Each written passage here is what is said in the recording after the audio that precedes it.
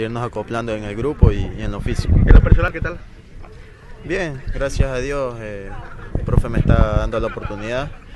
Eh, al margen de eso, tengo que seguir trabajando para mí mismo. Dos partidos que suman mucho en lo personal, Marlon. para que- Sí, este, la Copa del Pacífico nos vino bien a todo el grupo, ya que nos sirve para, para seguir uniendo a los, a los chicos jóvenes y a nosotros que, que tenemos el año pasado. ¿Qué se conversa con sus Consolidándose como compañeros, zaguero Marlon? ¿Qué se titular del conversa Club con sus compañeros? ¿Qué se conversa con el cuerpo técnico?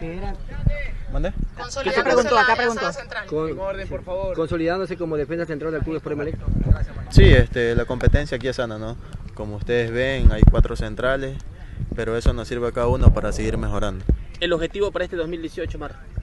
Eh, afianzarme en el 11, ¿no? Y aprovechar las oportunidades que me dé el profe eh, y seguir obteniendo títulos más que todo. Marlon, ¿preocupa la idea de que pueda llegar un nuevo central a la gente del Emelec? ¿Preocupa esa idea?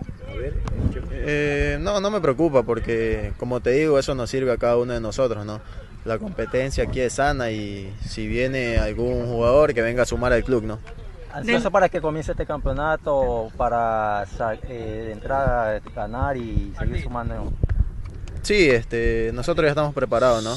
Eh, pero igual estos días que, que nos sobran aún nos van a servir para ponernos bien físicamente y con el grupo. En la coordinación de la defensa, eh, ¿qué es lo que más se está trabajando por estos días antes de que inicie el campeonato, Marlon?